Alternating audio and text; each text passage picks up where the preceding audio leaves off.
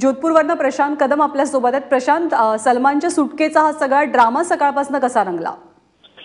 ज्ञानदा खरं तर तीन वाजता सलमान खानला बरोबर जामीन जो आहे तो सेशन कोर्टानं मंजूर केलेला होता. त्याच्यानंतर पाच वाजून पस्तीस मिनिटांनी जोधपूर सेंट्रल जेलच्या दारातून सलमान खानची गाडी बाहेर पडली आणि त्याच्यानंतर अवघ्या काही मिनिटांमध्ये तो एअरपोर्टवरती पोहोचला. दहा ते पंधरा मिनिटांचं अंतर आहे सेंट्रल जेल ते एअरपोर्ट. त्या ठिकाणी बाकीच्या सगळ्या प्रक्रिया पूर्ण झाल्यानंतर एका स्पेशल विमानानं चार्टर विमान जे आहे ते बुक करण्यात आलेलं होतं सलमान खानसाठी.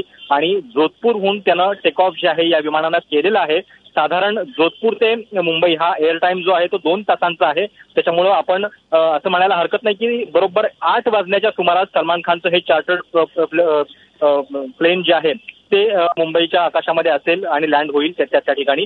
त्याच्यानंतर पुढच्या पंधरा ते वीस मिनिटात सलमान खान त्याच्या घरी पोहोचेल. पण आज दिवसभरापासूनच एक प्रकारे खरं तर धाकधूक होती. सकाळी सुरुवात झाली ती न्यायाधीश बदलले या संपूर्ण केसमधल्या या बातमीमुळं. त्याच्यामुळे सलमान खानचा जामीन आणखीन लांबेल की काय अशी एक शक्यता रंगलेली होती. मात्र ज्यांनी काल या संपूर्ण प्रकरणाची सुनावणी केलेली होती ते रवींद्र कुमार जोशी यांच्याच खंडपीठापुढं हे सगळं प्रकरण आलं. सुरुवातीला त्यांनी लंच ब्रेक पर्यंत आपला निर्णय जो आहे तो राखून ठेवलेला होता. त्याच्यानंतर परत एक तास घेतला आणि तीन वाजता मग त्यांनी आपला निर्णय जो आहे जामिनाचा तो जाहीर केला.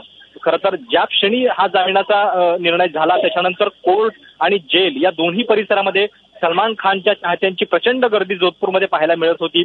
सलमान खानचे पोस्टर्स हातामध्ये घेऊन त्याची गाणी जोरजोरात गाऊन फटाके वाजवून अशा पद्धतीने हे सगळे सलमान खानचे चाहते जेलच्या बाहेर जल्लोष करत होते.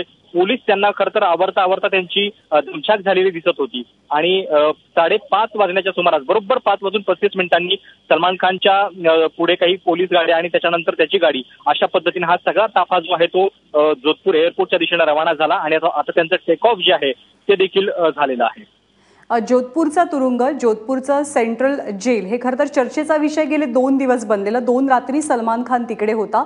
परंतु बऱ्याचशा घटना अशा घडल्या तिथे की ज्यामुळे जोधपूर जेल प्रशासनावरती प्रश्न उपस्थित झाले. जोधपूर जेलमध्ये दोन रात्रीत काय काय घडलं?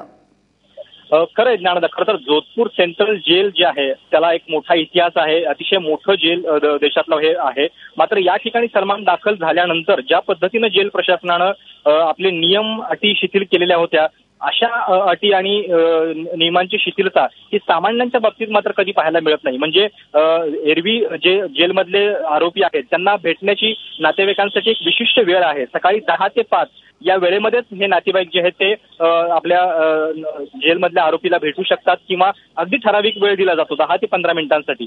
पण गेल्या दोन तीन दिवसामध्ये आम्ही पाहत होतो की सलमान खानचे वकील असतील त्याचा बॉडीगार्ड शेरा असतील अगदी म्हणजे जेव्हा पाहिजे तेव्हा ते जेलमध्ये आतमध्ये जात होते. सकाळी सात साडेसात वाजता त्यांना आतमध्ये जाताना आम्ही पाहिलेलं या या प्रशांत अनेक घडामोडी घडल्या की ज्याच्यामुळे जेल प्रशासन तुरुंग अधिकारी यांच्या सगळ्यांच्याच एकंदरीत भूमिकेवरती प्रश्नचिन्ह उपस्थित होतं. प्रशांत ताजे अपडेट जाणून घेत राहू. तुर्तास धन्यवाद या माहितीबद्दल.